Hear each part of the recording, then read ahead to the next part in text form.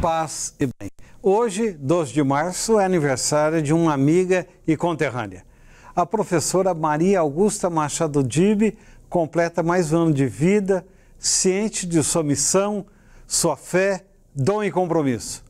Psicóloga, ativista social, agente na Pastoral da Mulher Marginalizada, professora universitária, a Guti aprendeu a arte de ser filha amorosa, irmã compreensiva na alegria e na dor, ser uma mãe atenta às diferenças dos filhos, como são os dedos das mãos, uma esposa, uma amiga, corajosa, estudiosa e habilidosa.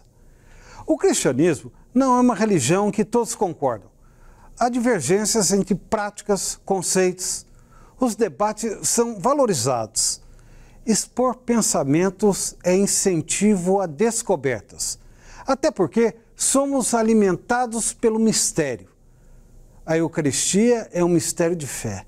A encarnação é um mistério. A Santíssima Trindade é um mistério.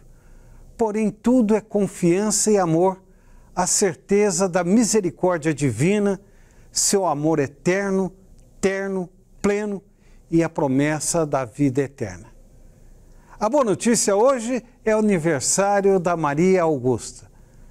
Muitas vezes concordo, outras vezes não.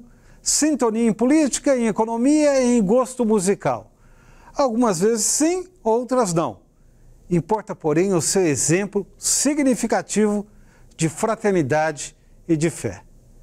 Luiz Antônio Monteiro para a Rede Vida.